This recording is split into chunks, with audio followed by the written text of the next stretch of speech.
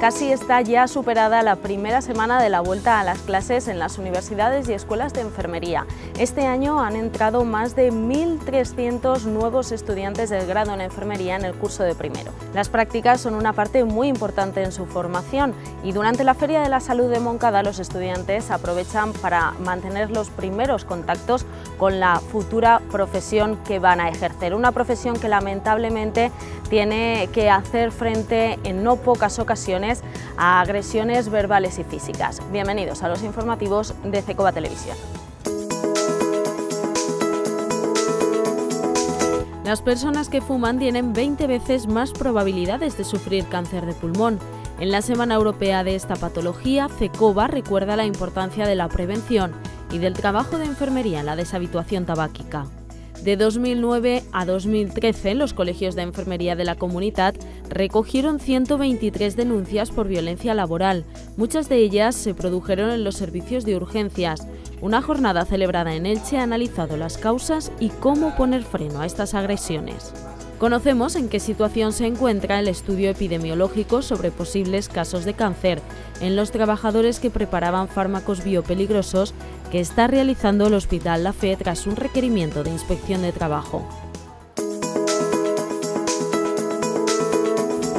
La mayor parte del alumnado de enfermería coincide. Esta es una profesión vocacional. Sin embargo, es la tercera titulación de más difícil acceso. En la Comunidad Valenciana existen ocho centros universitarios que imparten enfermería. A modo de ejemplo, hemos pasado el primer día de clase con los alumnos de primer curso de grado en enfermería de las facultades de la Universidad de Valencia y de la Universidad Católica de Valencia. Este año han entrado en primero de la titulación más de 1.300 alumnos distribuidos en los ocho centros universitarios de la Comunidad Valenciana que imparten enfermería. Empieza un día a día lleno de ciertos temores, pero también de muy buenas expectativas. Yo espero que vaya muy bien y que haya un buen grupo, que todo vaya adelante y salga todo perfecto, aprobemos todo. Es la carrera que más me gustaba, que creo que puedo ayudar a la gente y no sé, me gusta mucho curar. Es enfermería porque el campo sanitario y eso me gusta mucho y el primer día bien, o sea, nervios y eso. Este año empezamos una nueva solicitud de máster de investigación en enfermería oncológica, el doctorado que empieza a dar sus frutos ya, vamos de cara al segundo, el paso del segundo al tercer año y ya tenemos muchas tesis ahí en ciernes. Hemos puesto en marcha una doble titulación con nutrición que empezó el curso pasado con los alumnos que teníamos matriculados en cursos superiores y este año se han llegado a matricular en ese grupo a 25 alumnos. Y estamos fomentando en los alumnos ese espíritu de investigación que necesita enfermería. Acercar la salud a la población, este es el objetivo que cada año tiene la Feria de la Salud de Moncada. En ella participan asociaciones de pacientes y profesionales. En ella han estado presentes también miembros del Centro de Salud de Moncada y de la Universidad Cardenal Herrera CEU, alumnos y profesores. Todos ellos, unos y otros, han organizado diferentes talleres, como por ejemplo cómo prevenir los efectos del sol o cómo realizar una correcta vuelta al cole para que los más pequeños noten el cambio. Tenemos, y era un poquito así daros información ah, sobre pues las diferentes, diferentes especialidades que tenemos aquí en el centro de salud. Bueno, os conocemos porque somos de Moncada, sé que tenéis una unidad de lactancia muy buena, que os han dado un premio hace poco y todo eso. Així han aportat informació a la població sobre diferents temes relacionats amb la salut, entre ells les addiccions. La UCA és la unitat de conductes addictives i ho traguem així en la fira perquè és una realitat pues, que cada volta hi ha consumos de droga, d'alcohol y es para hacer prevención. Cientos de información sobre los métodos anticonceptivos, sobre la prevención del cáncer de cuello del útero y sobre todo la prevención de las infecciones de transmisión sexual.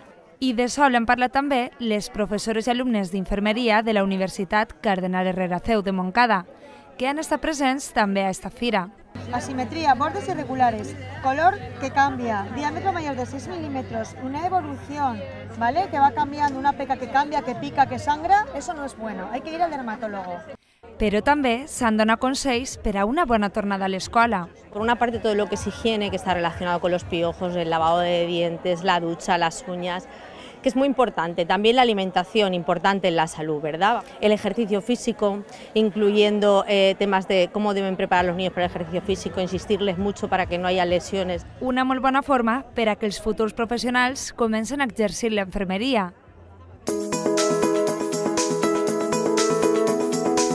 82 de cada 100.000 personas en España padece cáncer de pulmón, una afección muy relacionada con el consumo de tabaco. Y el 85% de las muertes relacionadas con el cáncer de pulmón se produce en personas adictas a los cigarrillos.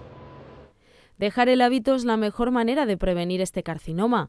Así, CECOBA recuerda que se evitaría también la aparición del cáncer de pulmón en personas expuestas al humo del tabaco que no son fumadoras. La presencia de profesionales de enfermería en los programas de deshabituación tabáquica, así como en las unidades de conductas adictivas, SUCA, en las consultas hospitalarias y en los servicios de prevención de riesgos laborales, son necesarios para promover entre la población española el abandono de la adicción al tabaco. La enfermería escolar también es fundamental para desarrollar políticas de prevención y educación necesarias para evitar que los adolescentes caigan en este hábito. ¿Puede la enfermería con su trabajo ayudar a conseguir la sostenibilidad del Sistema Nacional de Salud? A esta pregunta responden las primeras jornadas nacionales sobre repercusión económica de los cuidados. Se trata en definitiva de acreditar la contribución de las enfermeras no solo a la mejora de la salud y la calidad de vida de las personas, también a la prosperidad económica de la sanidad.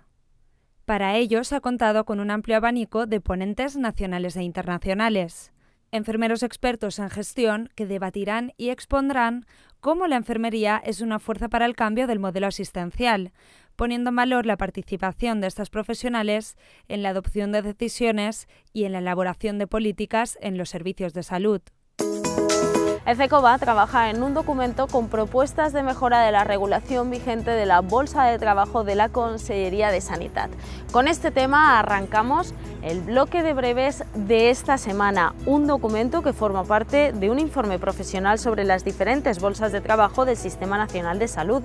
Este documento se ha ofrecido a los colegiados para que puedan realizar sugerencias para incluir en el mismo el Sindicato de Enfermería SATSE ha pedido a la Consellería de Sanidad que amplíe la reducción de jornada para los trabajadores con hijos con cáncer u otras patologías graves. Hasta el momento, la Consellería de Sanidad permite que los trabajadores en estos casos reduzcan su jornada a la mitad sin deducción de retribuciones. Sin embargo, el sindicato pide que se incremente el porcentaje de reducción hasta el 99% de la jornada laboral. Villarreal acogerá el próximo 27 de septiembre la quinta marcha solidaria por la salud mental de la Fundación Primavera. La marcha se iniciará con una concentración a las 9 y media en la Plaza Mayor de Villarreal, donde se repartirán las camisetas conmemorativas del acto y botellines de agua. La salida será a las 10 de la mañana. Los tickets pueden también adquirirse en el Colegio de Enfermería de Castellón. El Grupo de Trabajo de Terapias Naturales del Colegio de Enfermería de Castellón organiza el próximo 2 de octubre a las 5 de la tarde en el Hospital La Plana de Villarreal una conferencia sobre medicina integrativa. Una conferencia a cargo del doctor Barnosei, presidente de la Asociación de Médicos y Terapeutas. 11 de cada 100 trabajadores asegura haber sufrido violencia en el trabajo. El de la enfermería es uno de los colectivos que más violencia laboral padece. De hecho, el 84% de las enfermeras asegura haber sido víctima de violencia o física o verbal. Son datos ofrecidos en la jornada Stop Agresiones celebrada en el Hospital del Vinalopó, donde se han analizado las causas de la violencia y se han hablado de medidas para atajarla. La mayoría de enfermeras consultadas aseguran que las agresiones verbales proceden del exterior, de familiares de pacientes descontentos con la atención recibida, pero también dentro del propio trabajo por parte de compañeros que en muchos casos son médicos. Desde 2009 a 2013 los colegios de enfermería de la comunidad han recogido 123 denuncias por violencia laboral, muchas de ellas se producen en los servicios de urgencias. Sufren más las enfermeras y ahora mismo nos estamos dando cuenta que están empezando a sufrir más aquellas profesiones donde hay más género femenino que género masculino. El servicio de urgencia lo dice en las propias palabras, es una urgencia y el familiar viene un poquito atacado. Entonces, ante ello, para eso estamos nosotros los profesionales, para decirle, bueno, aquí se le va a atender, en tiempo y forma, como bien he dicho antes. La preparación de medicamentos considerados biopeligrosos en las unidades de UCI y reanimación del Hospital La Fe de Valencia llevó a inspección de trabajo tras una denuncia del sindicato Comisiones Obreras a pedir al centro la elaboración de un estudio epidemiológico. El objetivo de este estudio era conocer si existen entre los trabajadores de estas unidades casos de cáncer que puedan estar relacionados con la preparación de estos medicamentos fuera del área de farmacia. Esto fue en julio, dos meses después, conocemos en qué situación se encuentra. Si eso lo obtuviéramos, pasaríamos a una segunda fase del estudio con los pacientes ya seleccionados para tratar de investigar de forma exhaustiva. Una investigación para la que se recopilan datos de 2.115 enfermeras y auxiliares que trabajan o han trabajado en la UCI reanimación del centro. Vemos si anteriormente también han estado en otros servicios donde manipularan ya peligrosos por el tiempo de exposición eh, les preguntamos también hábitos que puedan tener en, su vida cotidiana, porque todo se suma. Este estudio es un requerimiento que hizo Inspección de Trabajo a este Departamento de Salud el pasado mes de junio tras la denuncia interpuesta por comisiones obreras. El sindicato alertaba del peligro que para la salud de las trabajadoras suponía preparar estos fármacos en las mismas unidades de UCI y REA. Las que van en viales y en ampollas. ¿eh? A la rotura de esas ampollas se puede crear un aerosol, ¿vale? O, bueno, se te puede caer. Desde el hospital inciden en que desde el pasado mes de agosto todos los medicamentos calificados como biopeligrosos se preparan en farmacia en estas salas blancas. Y además de estos citostáticos hay otros productos que hay una clasificación que la NIOS que clasifica de biopeligrosos, que es un organismo internacional eh, que aconseja o recomienda que determinados productos como inmunosupresores, eh, antibióticos, eh, también antivirales o antiepilépticos se puedan realizar en estas salas. El personal tiene, por supuesto, que utilizar los equipos de protección individual, que serán distintos según en el lugar de trabajo que proceda dentro de las salas blancas, ya que también trabajamos para preparar nutriciones parenterales o biopeligrosos. Que esta elaboración se tiene que acondicionar y etiquetar y pasará a ser validada por un control de calidad por la coordinadora y el personal de enfermería que están en la zona C. Este personal también tiene que llevar los equipos de protección individual. A pesar de todo, medicamentos como la fenitoína siguen preparándose directamente en las unidades en determinadas circunstancias. La fenitoína es de utilización terapéutica y las primeras dosis pues hay que prepararlas aquí. Entonces contamos con todas las medidas de seguridad eh, tenemos sistemas, sistemas cerrados y tenemos una campana de extracción local con filtro EPA. Sin embargo, Comisiones Obreras recuerda que la preparación de medicamentos biopeligrosos fuera de la unidad de farmacia ya se hacía en la fe de Campanar. De hecho, inciden en que existe una sentencia del Tribunal Superior de Justicia donde se condena al hospital por no proteger a una enfermera en 2013. Ahora las medidas de prevención ya están cambiando y falta esperar a conocer los resultados de la fase preliminar del estudio epidemiológico que se está elaborando.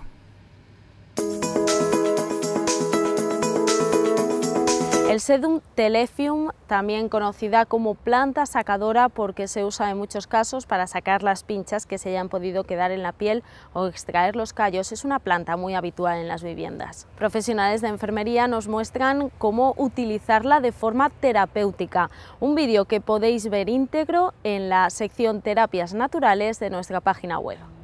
Elegir una hoja bien y entonces coger el alcohol de quemar o alcohol etílico, da lo mismo, para poder quitar la primera capa de la cara de la hoja porque es la que vamos a utilizar. Cuando notemos que la hoja ya está bastante caliente, eh, vamos a intentar quitar la primera capa. Que ya hemos quitado la primera capa y ya está lista para utilizarse. La aplicaremos eh, sobre la herida o sobre el acceso y luego nada, lo cubriremos con un apósito simple y lo dejaremos actuar 12 eh, horas como mucho. Antes de despedirnos queremos recordar que el próximo lunes 21 de septiembre se conmemora el Día Mundial del Alzheimer, una patología que afecta a cerca de 44.000 personas en la comunidad y que requiere cuidados profesionales. La Confederación Española de Asociaciones de Pacientes y Familiares ha lanzado una campaña. Nos invitan a utilizar la etiqueta Haz que este gesto se pegue en las redes sociales y contribuir así a que no se disipe la lucha contra el Alzheimer y la crudeza de esta patología pasado el 21 de septiembre. Nosotros queremos contribuir a esta campaña y os animamos también a hacerlo. Lo hacemos colocando este post-it. Haz que este gesto se pegue. Volvemos el próximo viernes con más noticias. Feliz semana. Adiós.